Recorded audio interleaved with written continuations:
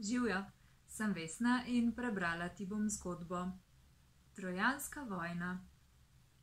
V Mali Aziji, nedaleč od Helesponta, je v davnih časih stalo mesto Troja. Za mogočnimi mestnimi obzidji je svojemu ljudstvu vladal kralj Prijam s kraljico Hekabo. Neke noči je imela kraljica čudne sanje. Sanjalo se ji je, da je rodila otroka. Ko pa ga je hotela vzeti v naročje, se je dete spremenilo v gorečo baklo. Plameni so z bakle preskočili na kraljevski grad, z gradu na okoliške domove in v trenutku je vse mesto gorelo v jasnih plamenih. Kraljica se je prestrašena prebudila in zaupala kralju svoje sanje. Kralj je še v jutranjem mraku poklical vidce, da bi mu razložili kraljičine sanje. Neradi so vidcu, vidci povedali kralju, kakšno zlo so napovedale hude sanje. Kraljici se bo rodil sin, ki bo prinesel pogubo vsemu mestu. Če hoče kralj zavarovati svoje in kraljičino življenje, življenje svojih otrok in življenje meščanov, če hoče obvarovati mesto Trojo, naj ukaže odnesti novorojenčka v nenaseljeno gorovje. Boljše bo, da otrok umre, kot da bi izgubilo življenje toliko nedolžnih, poštenih ljudi. Kmalu potem se je kraljici rodil sin. Jokaje se je kraljica ločila od dojenčka in žalostni kralj Prijem je ukazal služabnikom, naj otroka odnesejo v gorske pustinje. Služabnikom je bilo žal lepega dečka, tudi bali so se nasprotovati kraljevemu ukazu, kajti poznali so prerokbo. Nesli so fantka v goro in na to hitro zbežali nazaj v mesto. Niso hoteli poslušati otroškega joka in kričanja. Zapuščeni otrok pa ni jokal. Prišla je medvedka, ga povohala in obliznila, potem pa z obmi nežno prijela plenico, v katero je bilo dete zavito, in ga odnesla v votlino k svojim medvedkom. Tako je deček rasel z medvedjimi mladiči. Medvedka ga je hranila in medvedki so se igrali z njim. Deček je postajal močan. Naučil se je hoditi in plezati po drevju. Le človeške govorice se ni mogel naučiti. Nekega dne je pastir iskal izgubljeno ovco in zagledal zanemarjenega dečka, ki se je igral na poseki. Vzel ga je k sebi v pastirsko kočo in mu dal ime Paris. Od takrat naprej je deček živel pri pastirjih. Pomagal jim je varovati črede, in med njimi se je naučil tudi govoriti. Rasel je in postal velik, močan mladenič, ki se ni ničesar bal. Varoval je črede pred zverinami in pred tatovi, in vsi pastiri so ga imeli radi. Paris je posedal sredi črede, igral na piščalko in pazil, da mu ovce ne bi odšle v gost. Ravno je dvignil piščalko k ustnicam, ko so se pred njim pokazale tri prelepe boginje: Hera, žena vladarja bogov Zeusa, Atena, boginja modrosti in zaščitnica pogumnih in pametnih mož, in Afrodita, boginja lepote in ljubezni. Paris je ob pogledu na boginje od začudenja obnemel. Boginja Hera mu je podala zlato jabolko in rekla: Paris, razsodi naš spor. Tekmujemo za zlato jabolko. Dobi naj ga najlepša med nami. Dobro si, ga, si nas oglej in povej, kateri od nas treh pripada jabolko. Če boš dal jabolko meni, boš postal vladar vse Azije, najmočnejši gospodar na svetu. Atena se je zasmejala in rekla: Če bom jaz dobila jabolko, boš postal najslavnejši voskovodje vseh časov. Zmagal boš v vsaki bitki in sovražna mesta ti bodo sama odprla vrata, kakor hitro se jim boš približal z vojsko. Afrodita pa je rekla sladkim glasom: Če daš jabolko meni, ti obljubim ženo, ki bo tako lepa, da lepše še ni videl svet. Paris se je malo obotavljal, na to pa izročil zlato jabolko bogini Afroditi. S tem pa je razjezil Hero in Ateno in je odločil tako o svoji usodi, kot o usodi mesta Troje. V mestu so medtem pripravljali slavnost in velike tekme. Pastirji so poslali Parisa v mesto, da je peljal bika k slavnostim. Paris je prvič v življenju videl tako mogočno mesto. V somamljen je hodil po ulicah in si ogledoval visoke kamnite templje in palače. Najbolj všeč mu je bilo na dirkališču. Ker je bil mlad, močen in drzen, se je priglasil k tekmovanju. Bojeval se je tako dobro, da je premagal vse svoje brate, tudi Hektorja, ki je bil najpogumnejši med njimi. Kralj Prijam je zmagovalca poklical k sebi in ga povprašal, odkot prihaja. Paris je prijazno pripovedoval kralju o svoji usodi in kralj je spoznal, da je tuj mladenič njegov sin. Ganjeni Prijam je ubil Parisa in ne da bi še razmišljal o prerogbi, peljal sina v palačo. Spet najdeni sin se je srečal z materjo in sorodniki boginja Afrodita ni pozabila na Parisa. Kmalo se mu je prikazala in rekla: Prišla sem, Paris, izpolniti tvojo, svojo obljubo. Za nagrado si izbral najlepšo ženo in pomagala ti bom do nje. Najlepša med vsemi je Helena, žena špartanskega kralja Menelaja. Njen oče Zeus si je vdahnil nadzemeljsko lepoto ne obotavljaj se in začni delati ladjo. Ne bom te zapustila. Spodbojen od boginje, je Paris začel graditi trdno ladjo. Modilo se mu je na pot v Menelajevo kraljestvo. Oče Prijam je žalosten opazoval sinove priprave na daljno plovbo. Vedeži so se bali Parisovega potovanja, in videli so v njem začetek zla, ki bo prišlo nad vse. Za manj sta se trudila kralj in kraljica, sorodniki in vidci, da bi Parisa odvrnili od njegove namere. Ni nehal graditi ladje in boginja Afrodita mu je pomagala. Slednjič se je ladijski gredel pogreznil valove in rdeči premec je zarezal v globino. Paris je odplul s svojimi mornarji kljub vsem svarilom, prošnjam in prerokbam. Afrodita je poskrbela za ugoden veter in ladja je z napetimi jadri hitela čez valove, kot bi imela krila. Špartanski kralj Menelaj je ljubeznivo sprejel gosta dal, iz daljne troje in ga pogostil.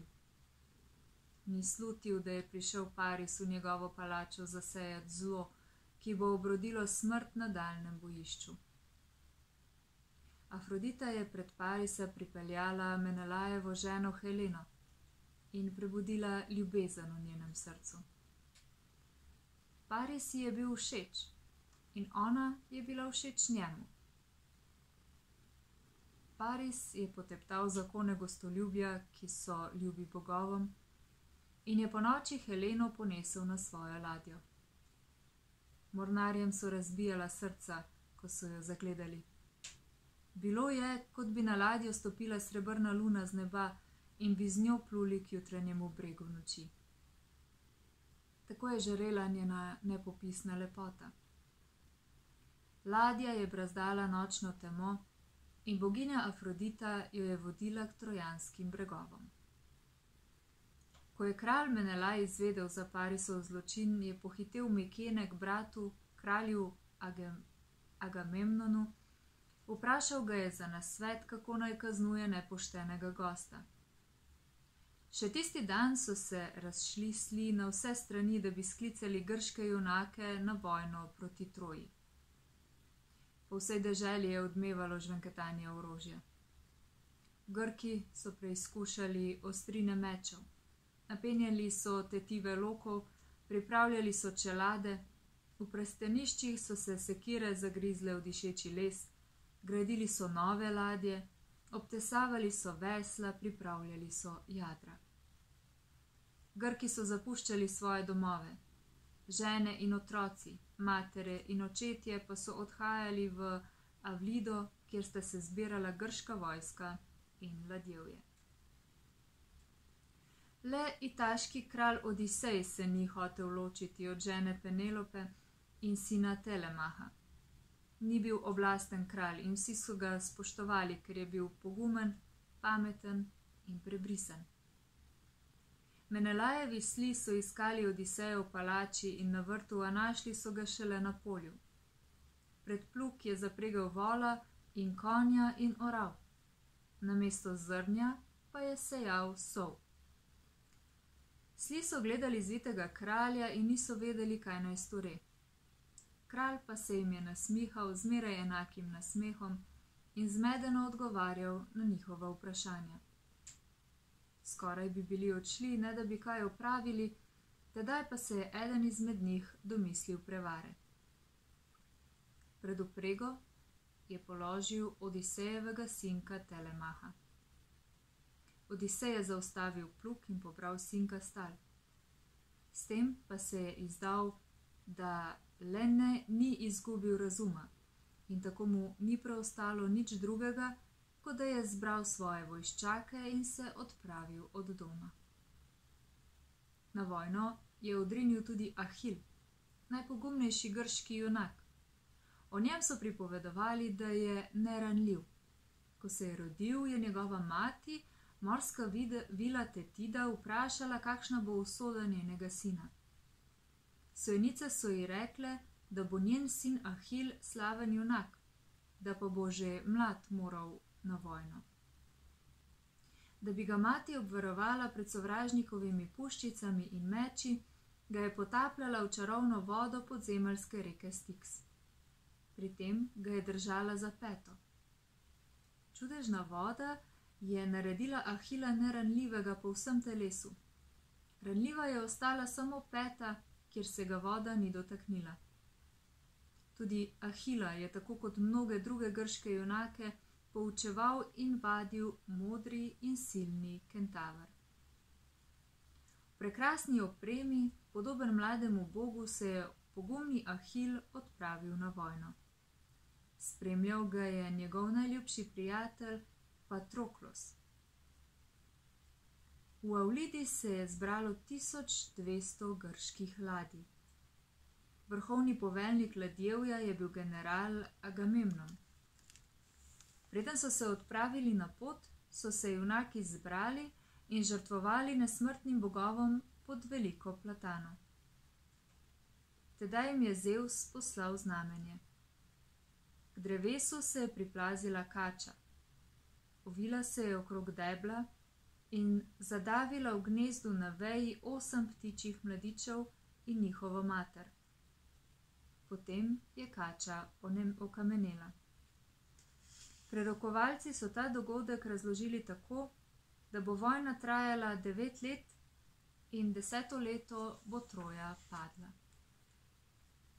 Ladjevje je bilo pripravljeno in Grki so čakali samo še na ugoden veter.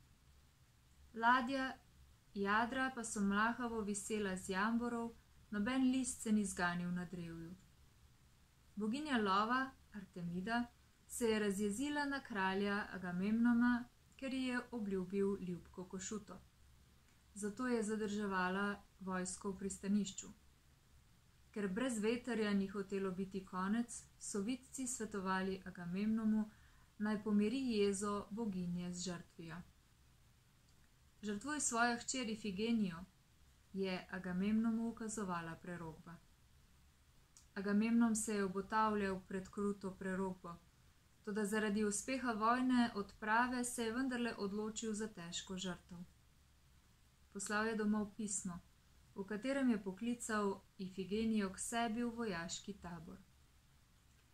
Ko pa je pismo odposlal, se je zgrozil nad svojo odločitvijo in je hitro napisal še drugo pismo, naj Ifigenija ne hodi v taborišče. Kralj Menelaj je videl, kako iz Agamemnovega šotora hiti nov sel in pomislil je, da je poveljnik mogoče spremenil svojo odločitev. V strahu za uspeh pohoda je pohitel za slom in mu vzel novo sporočilo. Tako je Ifigenija prijela le prvo pismo in ubogljivo se je odpravila na pot k očetu. Agamemnom jo je v sobupan sprejel. Svečeniki so že pripravili žrtvenik. Prišli so po Ifigenijo in jo odpeljali k oltarju. Oče si je v žalosti zakril obraz. Tedaj se je na žrtvenik spustila megla in veter je odnesel Ifigenijo daleč na Taurido. Tam je postala svečenica boginje Artemide. Pomirjena boginja je na mesto deklice na oltar položila lan. Ugoden veter je razčesal morje in se uprl jadra. Grki so izpluli iz pristanišča. Nekega dne so trojanski stražarji zapazili iz mestnih utrp jambore in jadra sovražne vojske. Trojanski bojevniki so se zgrinjali iz mesta z orožjem v rokah. Vodil jih je Hektor, najstarejši sin kralja Prijama. Hoteli so preprečiti Grkom, da bi se izkrcali na strmi obali. Grki so vedeli, da bo padel, kdo bo prvi stopil na trojanska tla. Tako je določala prerogba. Koma je prva ladja pristala ob bregu, že je mlad grški junak skočil na trdna tla in si izbral prostovoljno smrt. Za njim se je na breg usula vsa grška vojska in Hektor s trojanci se je umaknil. Ahil je tako srdito skočil z ladje, da je pod njegovimi petami šinil plameni stal. Neranljivi junak se je spustil v boj s tako silo, da so trojanci osupli nad njegovimi udarci in preščečo vojno opremo pobegnili za mestne utrdbe. Grki so potegnili bojne ladje na breg, postavili taborišče in ga obdali z obzidjem. Ahil si je okoli šotora velel postaviti ogrado iz močnih kolov, zabitih v zemljo. Vrata v branik so se zapirale z velikanskim in tako težkim zatičem, da so ga komaj premaknili trije močni ljudje. Ahil pa ga je zlahka dvignil sam. Vsak dan so Grki odjezdili na vojne pohode v okolici Troje in se vračali v taborišča z bogatim plenom. Mesto Troja pa se je upiralo vsem grškim napadom.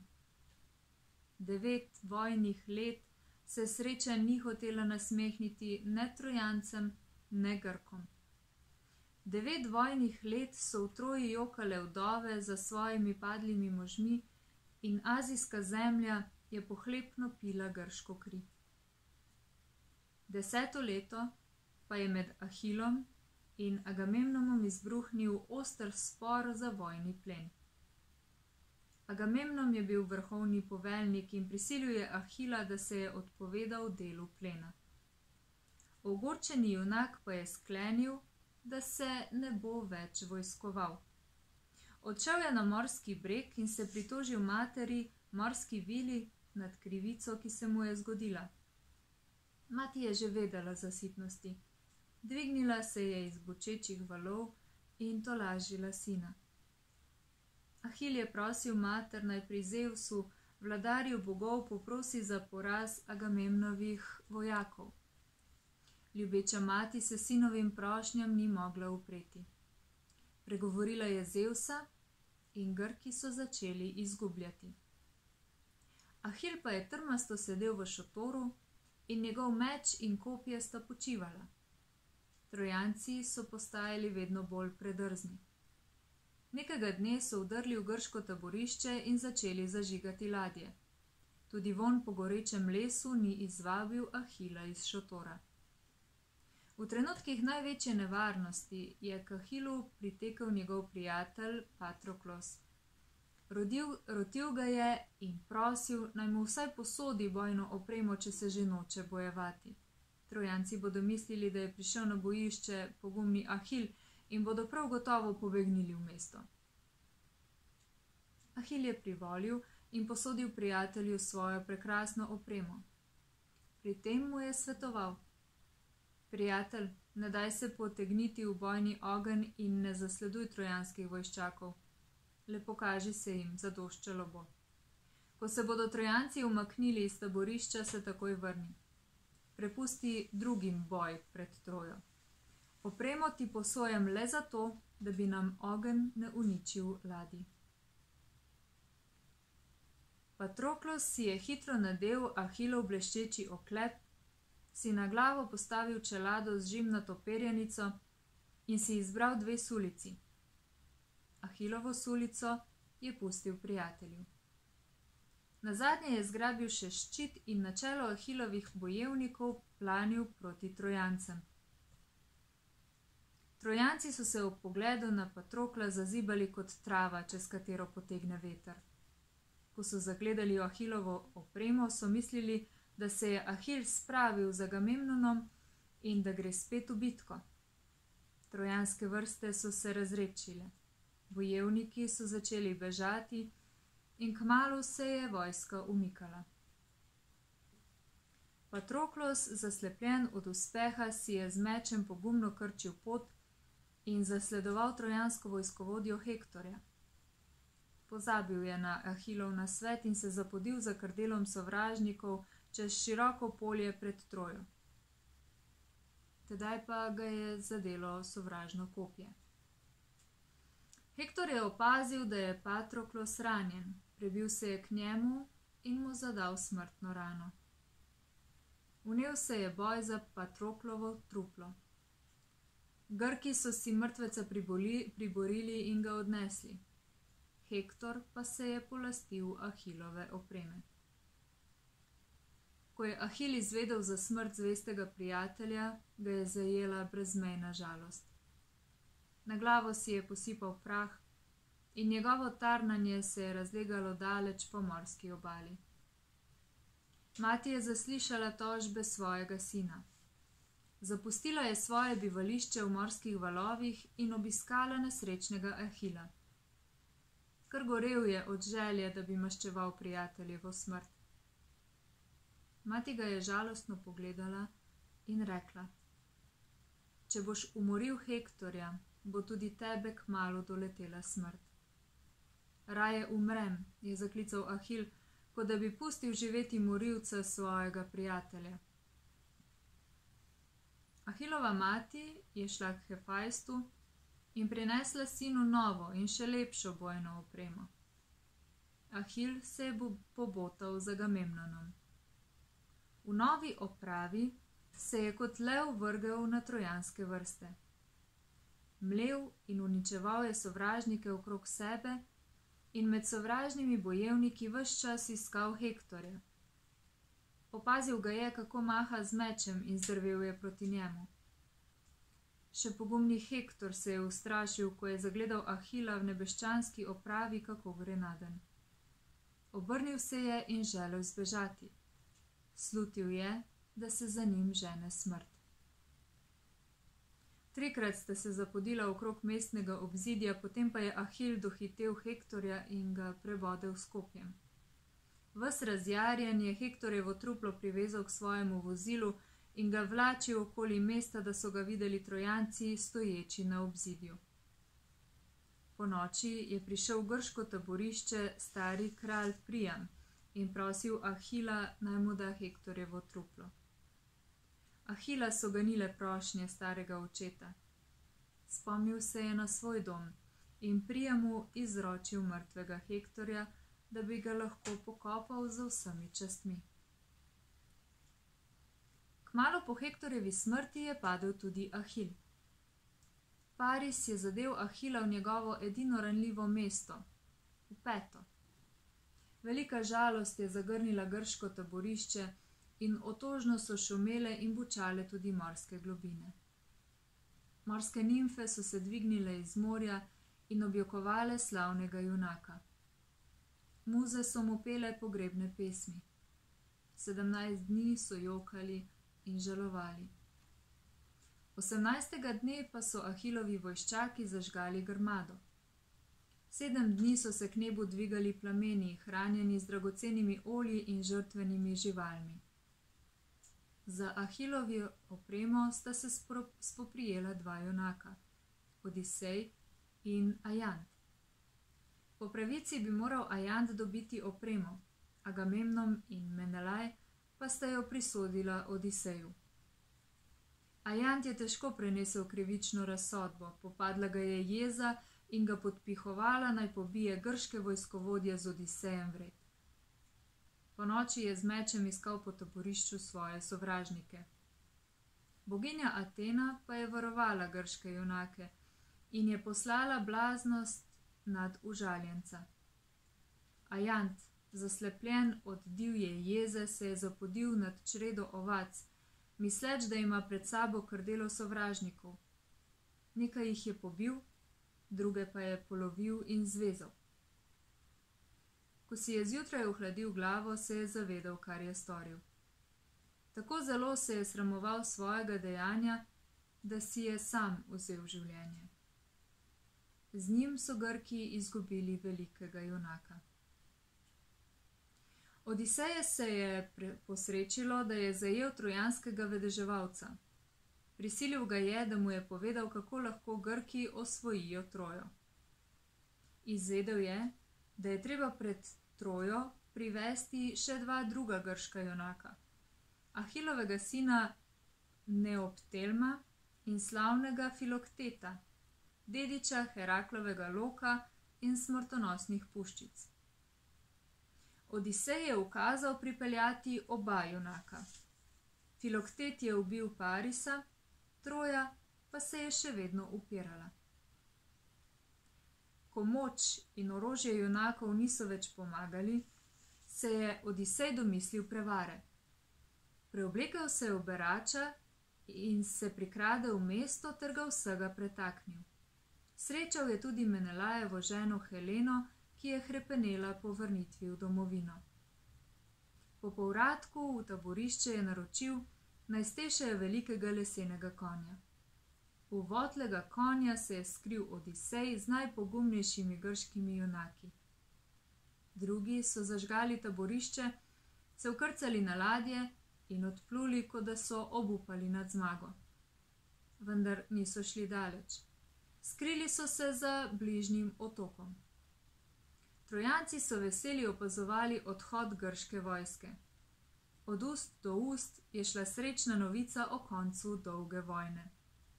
Trojanska vrata so se odprla in prebivalci so prišli na obrežje. Hodili so okoli lesenega konja in se mu čudili. V skalah na obrežju so naleteli na Grka Sinona, ki ga je Odisej prebrisano potaknil trojancem. Grk je padel na kolena in zaklical: Ne ubite me, dobri ljudje, saj sem komaj pobegnil Grkom, hoteli so me žrtvovati tako kot Ifigenijo, da bi srečno pripluli v domovino. Tega lesenega konja so postavili na božji ukaz kot dar mestu Troji. Trojanci so Grku verjeli. Le trojanski svečenik Laokont je čutil, da bo kon prinesel mestu nesrečo in svaril je rojake. Ne verjemite Grkom, ne verjemite Danajcem. Vrzite Danajski dar v morske valove, postavite grmado in ga sežgite, ne spravljate konja za mestno obzidje. Na njegov krik sta se iz morskih globin privalili dve pošastni kači in se vrgli na. Ovili sta se okrog svečenika in njegovih dveh sinov in vse tri zadušili. Usoda je izročila mesto pogubi. Trojanci so v Laokontovi smrti videli božje znamenje in brez obotavljanja so zvlekli lesenega konja v trojo. Z gostijami in slavnostmi so zaključili dan in mesto je leglo k mirnemu snu. V nočni tišini pa je na mestno obzidje stopila Helena in z gorečo baklo dala Grkom na morju dogovorjeno znamenje. Iz lesenega konja so stopili junaki in grški vojski, ki se je medtem vrnila, odprli mestna vrata. Žvenket orožja, kričanje in plameni so prebudili speče trojance. Z očmi zastrtimi od spanca so segali po orožju. Boj je zajel vse mesto in vsako hišo. Mesto je gorelo na vseh koncih in v svetlobi oslepljujočih požarov so trojanci bili svojo zadnjo bitko. Padel je tudi stari kralj Prijam in skoraj vsa kraljevska družina. Heleno je Menelaj odpeljal na svojo ladjo. Mesto se je pokrilo s pepelom in pepel se je mešal s krvjo trojancev in grkov. Tako se je končala trojanska vojna in nikomur ni prinesla nič dobrega. Trojanci so mrtvi ležali v razvalinah svojih domov, njihove žene in otroke pa je zmagovalec odpeljal v služnost. Prezgodaj so Grki vriskali nad padcem Troje. Le malo kdo od preživelih borcev je spet videl rodni kraj. Vojni plen, zlato in srebro so pogotnili viharni valovi z ladjami in mornarji vred. Kdor pa je po težavni plovbi le prišel domov, je na mesto svojih dragih pogosto našel le še grobove. Junaki so se vrnili v domovino kot tujci. Sinovi niso prepoznali obrazov svojih očetov, in žene so v obličju starcev za manj iskale ljube poteze svojih mož. Vojna se je končala, zlo, ki ga je rodila, pa je živelo naprej. To je bila zgodba zate. Hvala, ker si in naj ti bo dobro.